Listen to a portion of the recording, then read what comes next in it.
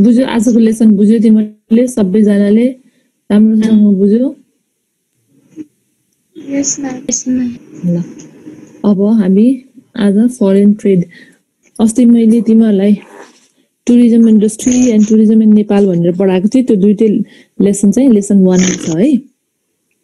पछि मैले हिजो होमवर्क हाल्न भ्याएन आज चाहिँ म पक्का तिमीलाई होमवर्क हालिदिन्छु।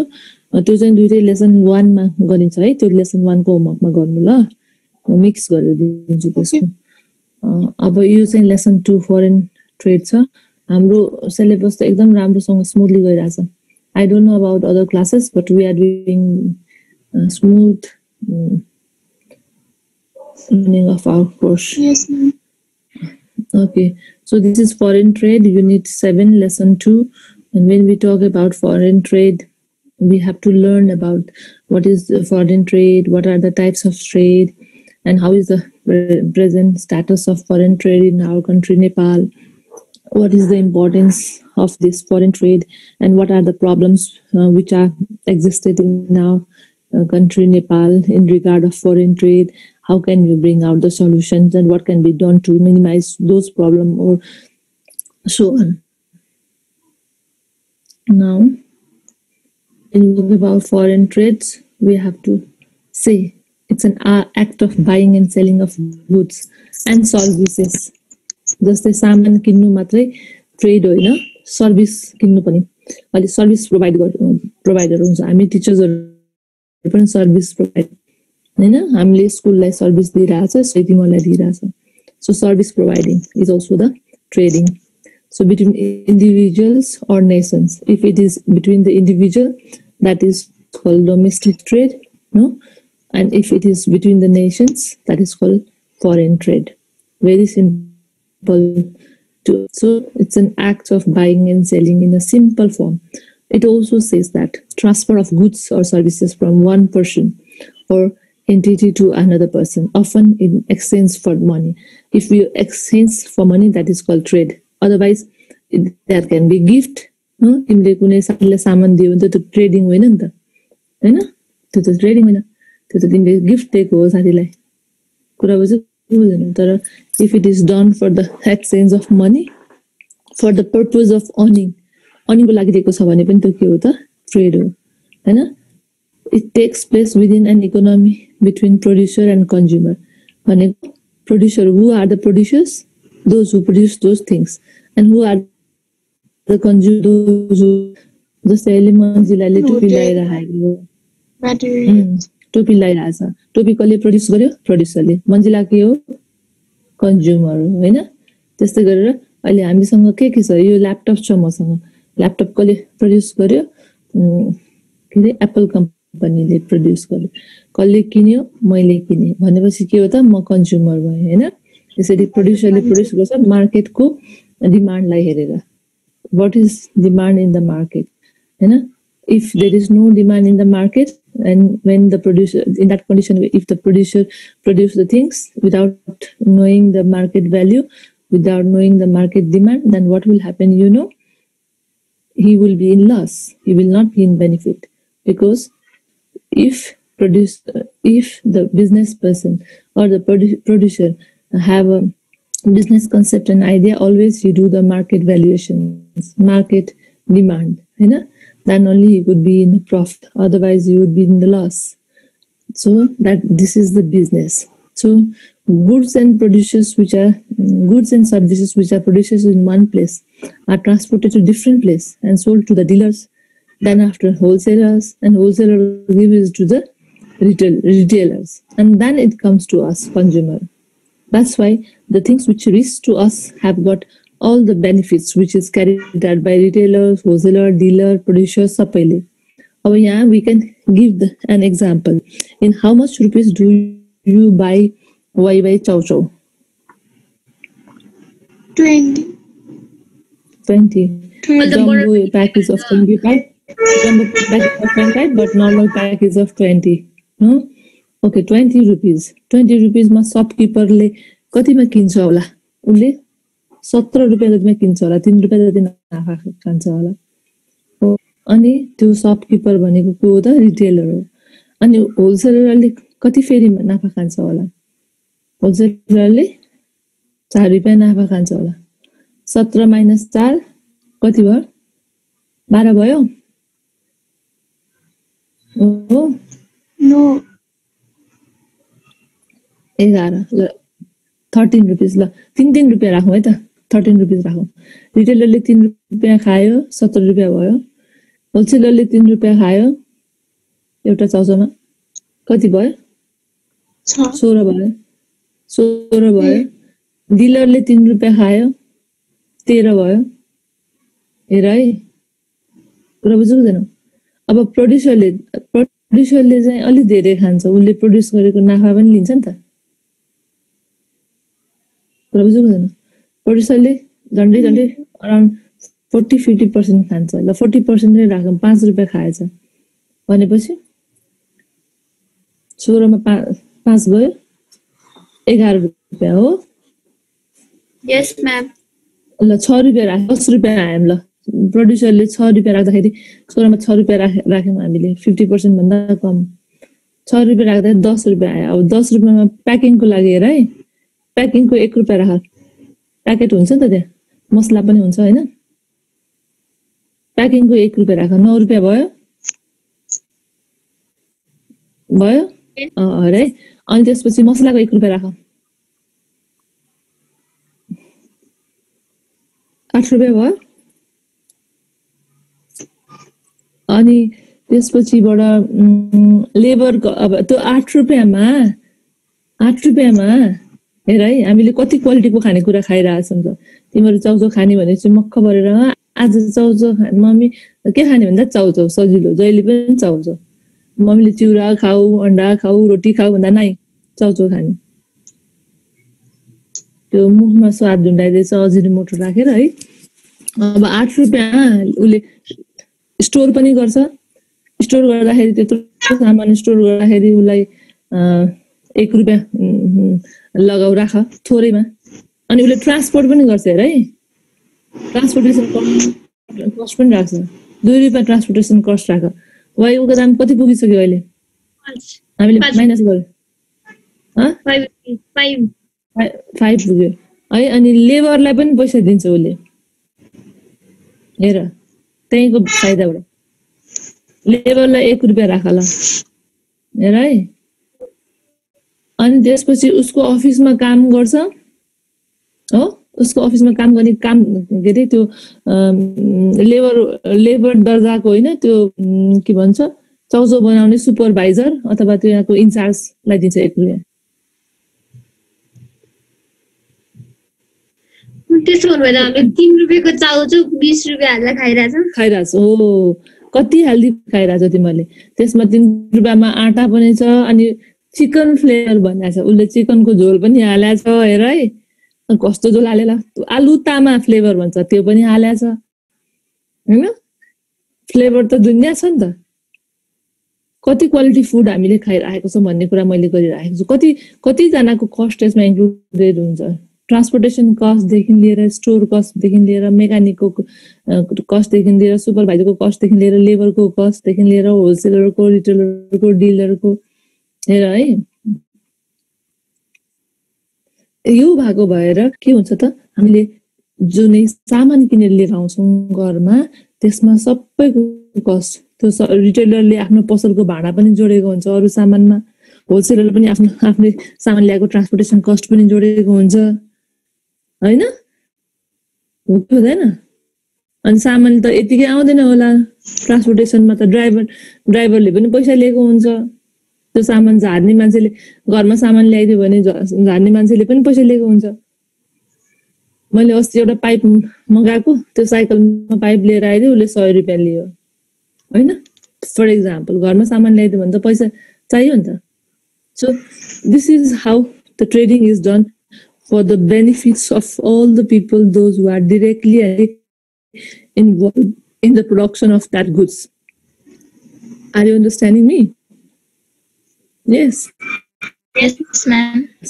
So business or commerce, is another name of trade, and trade is done for earning the money and making the money. And there is a tendency, always we say, money attracts money, होइन जहाँ पैसा छ त्यो पैसा उसले business start गर्छ काम start कर पैसा त्यो के गर्छ पैसा तान्छ, है? So trading also bring money and makes a national pros nation prosperous and strong if we if we export the things to other country then our nation would be rich prosperous and strong है जस्तै तेल उत्पादन होने कन्ट्रीहरूमा खाडी मुलुकहरू भन्छौँ हामी gulf country भन्छ।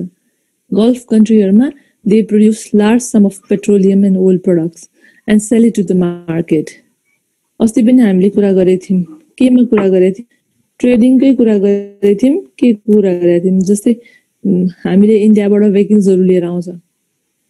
Almost all the vehicles which are used in Nepal are made in India. Scooter bike गाडी टेम्पो होइन? ओके होइन. हो युजहरूले के हाम्रो पैसा कहाँ गइरहेछ त? To their country they are the producer अनि त्यो गाडीमा हाल्ने पेट्रोल पनि हामी त्यहीँबाट ल्याउँछौँ गाडीको सिसा फुट्यो भने सिसा पनि त्यहीँको त्यहीँबाट प्रड्युस हुन्छ त्यहीँ पैसा जान्छ हेर है स्टिकर पनि त्यहीँ किन्छ तिमीहरूले युज गर्ने कपी पेन पनि त्यहीँ प्रड्युस हुन्छ पानीको बोतल पनि त्यहीँ प्रड्युस हुन्छ। कति सामान त्यहाँ प्रड्युस हुन्छ? खानेकुराहरू पनि मेड इन इन्डिया होइन? यसले के गर्छ त?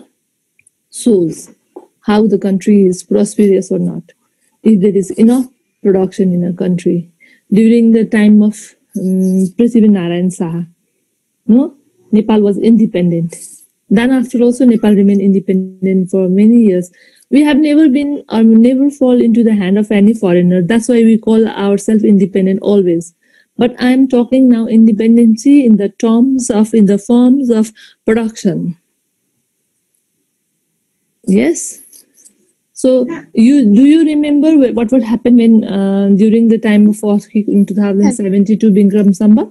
There was a, after uh, immediately after an earthquake, we were in economic blockade by India.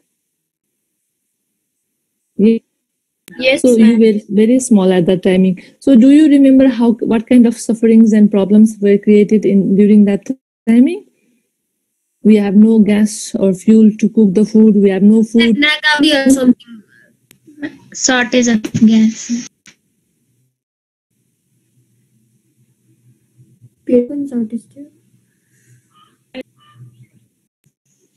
Mama.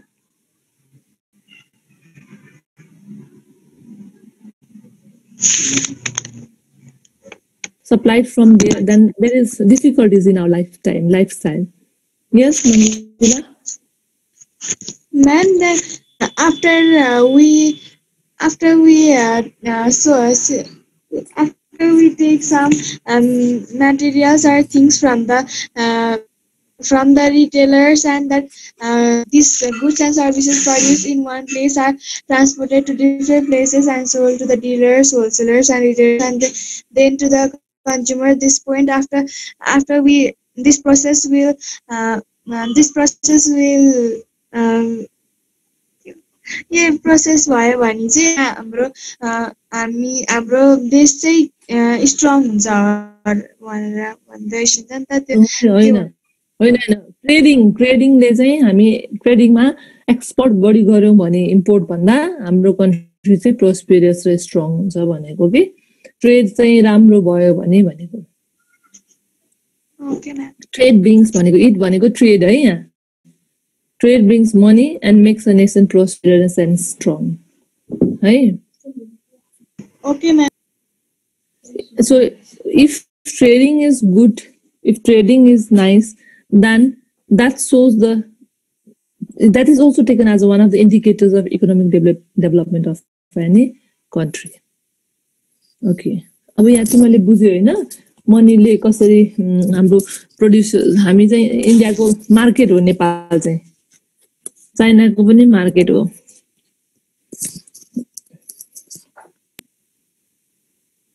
अब नेपाल नेपालले पनि त नेपालीहरूले पनि त बढी युज गर्छ नि त होइन? हामी चाहिँ मार्केट हुनुभन्दा हामी चाहिँ प्रड्युसर हुनुपर्छ। हुनु- हाम्रो भन्ने त्यही त। हामी हामी राम्रो हाम्रो डेभलपमेन्ट हुनलाई अनि चाइनाको प्रडक्ट्सहरू त दुई थरीको हुन्छ अरे होइन? दुई थरीको हुन्छ एक्सपोर्टेड क्वालिटी एकदम राम्रो क्वालिटी जस्तै अस्ट्रेलियाबाट तिमीले केही सामान ल्याऊ मेड इन चाइना लेखेको हुन्छ। एक्सपोर्टेड क्वालिटीको पठाउँछ डेभलप कन्ट्रीहरूमा हामी हामीसम्म चाहिँ डल्लु क्वालिटी पठाउँछ किनभने नेपालको मान्छेहरू त सबै मिडल क्लास लोवर मिडल क्लासको छ। अनि उनीहरूले पर्चेसिङ गर्ने सामानहरू धेरै पैसा हालेर किन्दैन। होइन? आइफोन किन्नुको सट्टा होइन? आइफोन पनि त चाइनामा भन्छ नि नेपालीहरूले दस बाह्र हजारको फोन किन्छ। अनि उसले त्यही अनुसारको मार्केट बनाउँछ सामान।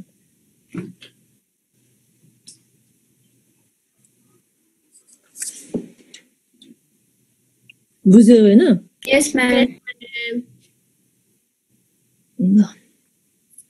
टाइप्स अफ ट्रेड ए मैले यो कुरा भन्नुभन्दा अगाडि के भन्दै थिएँ मैले during the time of king king kings ruling system or during the when the ब्रिन्दान सा was ruling at that time never accepted anything from outside he have never even let any foreigners to get in to our country or enter inside our country. Only if he found motives, then he brought some Muslim export to make, make the arms and ammunitions and train the train his army. Rather than that, he had never allowed any foreigners to come inside our country. किन त यदि फरेनर्सहरू आयो भने उनीहरूले के गर्छ अरे एउटा धमिरा सानो किरा जस्तो भएर पस्छ धमिरा जस्तो भएर पस्छ नि हात्ती जस्तो भएर निस्किन्छ अरे कि कुरा बुझेको बुझेन। कमिला जस्तो भएर पस्ने हात्ती जस्तो मोटाएर निस्किने। भनेको उसले यहाँबाट धेरै बेनिफिट्सहरू लैजान्छ।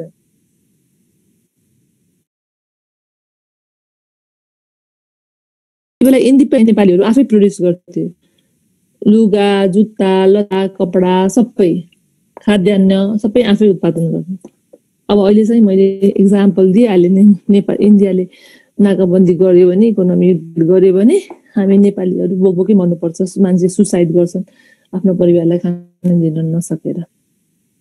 काम नभएर। कुरा बुझेको बुझ्दैन? त्यसो भएर हामीले इन्डिपेन्डेन्ट अथवा त्यसलाई सेल्फ रिलायन्ट भन्छ। Whatever we need, uh, we have to produce ourselves.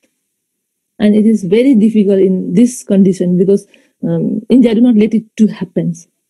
नेपालको चाहिँ राम्रो राम्रो प्रडक्सन्सहरू चाहिँ सबै कोल्याप्स भएर गयो। जस्तै भेकुटीको कागज कारखाना हेटौडा कपडा मिल यस्तो राम्रो कपडा पाइन्थ्यो हेटौडा कपडा मिलबाट। जति धुए पनि कलर नजाने रङ नजाने दह्रो कति वर्ष खप्ने पाउँथ्यो त्यो सबै अहिले बन्द भइसकेको छ। बाँसबारी छाला जुत्ता। गभर्मेन्टले राम्रो पोलिसी नल्याएर गभर्मेन्टले त इन्डस्ट्रियल पोलिसी नेपालको हामीलाई नेपाललाई चाहिँ नेपालले चाहिँ इन्टरनल ट्रेडलाई प्रमोट गर अथवा इन्टरनल प्रोडक्सनलाई चाहिँ किन सामान भन्छ होइन? तर त्यो सामान चाहिँ क्वालिटीको पनि हुनु पर्यो कम्पिटेटिभ पनि हुनु पर्यो। अनि गभर्मेन्टले यस्तो पोलिसी ल्याउनु पर्यो कि त्यहाँको त्यो सस्टेन गरेर रन गर्न सक्नु पर्यो त्यो इन्डस्ट्रीहरूले गभर्मेन्ट जस्तै नेपाली तरकारीहरू हेर किसानहरूले बेला बेला फ्याँक्छन् बजारमा पुग्न पाउँदैन इन्डियाबाट तरकारी ल्याइरहेछन्। कुरा बुझ्यो बुझेन इन्डियाबाट तरकारी नल्याउने बित्तिकै नेपाली फाइदा हुने भएको छ कुरा बुझेको बुझेन नेपाली उत्पादन नेपालीहरूले के इन्डिया फलफुल पनि इन्डियाबाट आउँछ चाइनाबाट आउँछ केरा सुन्तला स्याउ अब हाम्रो नेपालको स्याउ चाहिँ लसुन पनि चाइनाबाट आउँछ भन्छ अब नेपालको नेपालमा उत्पादन भएको हुम्ला जुम्लामा स्याउ उत्पादन हुन्छ त्यो स्याउ चाहिँ मार्केटमा नपुगेर त्यहीँ उम्, फ्याँक्नुपर्छ। किन बाटोघाटो छैन ट्रान्सपोर्टेसन छैन राम्रो स्टोर गर्ने ठाउँ छैन। होइन? अनि इन्डियाबाट हुम्ला हुम्ला जुम्लाबाट ल्याएको स्याउ भयो भने हामीले बिस तिस रुपियाँ किलो स्याउ तिस रुपियाँ किलो स्याउ खान सक्छौँ भने अहिले हामी एक दुई सय पचास तिन सय रुपियाँ किलो स्याउ किन्छौँ। कस्टको कहाँ जोडिन्छ भन्ने कुरा मैले अघि तिमीहरूलाई भनिसकेँ। अब बोर्डरमा ल्यायो भने त कस्ट्युम पनि दिनुपर्छ। त्यहाँ भन्सार पनि दिनुपर्छ बोर्डरको।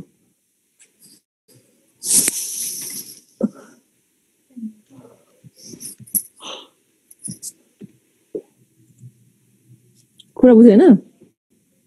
यस म्याम अब हाम्रो प्रोडक्सन हाम्रो नेपालमा भएको प्रोडक्सन नेपालमा भएको प्रोडक्सन चाहिँ नेपाली मार्केटमा अथवा नेपाली जनताको माझमा पुग्नु पर्यो अनि सस्तोमा पाउनु हामीले। मैले भनिसकेँ बिस रुपियाँ पच्चिस रुपियाँ तिस रुपियाँमा पाउने स्याउलाई हामी तिन सय तिस रुपियाँ हालेर किन्छौँ। तिन सय रुपियाँ त यत्तिकै फोकटमा नाश भइरहेछ नि त। हाम्रो। अनि त्यो स्याउ हामीले सस्तोमा पाउने भएको भए हामी हेल्दी पनि हुन्थ्यौँ। स्याउ पनि खाँदैनौँ नि हामी महँगो छ भनेर। होइन? धेरै महँगो छ किन किन्नु यो? कुरा म्याम स्याउ नै मिठो हुँदैन स्याउ हेल्थको लागि खाने मिठो किन चक्लेट मिठो हुन्छ चक्लेट मात्रै खाने त भात नखाने प्रार्थना हो कसले भने? चक्लेट मिठो चक्लेट मिठो चक्लेट मिठो हुन्छ चक्लेट मात्रै खाउँ है त भात नखाउँ भात दाल तरकारी साग अचार पनि नखाउँ हेल्थको लागि राम्रो भयो नि त. हेल्दी भयो नेपाली जनताहरू। केमिकल नहालेको हेल्दी फुड खान फ्रुट्स खान पायौँ। त्यसमा चाहिँ केमिकल केमिकलहरू हालेको भयो भने त अनहेल्दी हुन्छ नि त अनहेल्दी हुन्छ। प्रिजर्भेटिभ प्रिजर्भेटिभ्सहरू हाले हुन्छ। त्यस्तो खानु भएन। हजुर।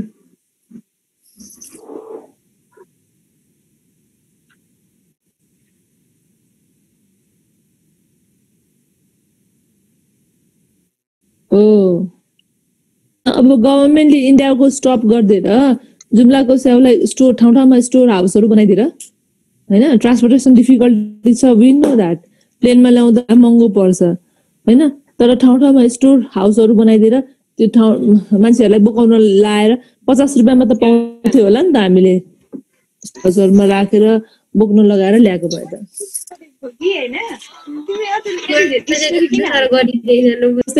बनाउँछ इन्डियामा नेपालले उखु बेच्छ। इन्डियामा नेपालले जुट बेच्छ। अनि नेपालको एक्सपोर्ट हुने फरेन कन्ट्रीमा भयो। पस्मिना नेपालीको ल्याइन्छ अलिअलि थोरै थोरै चिया।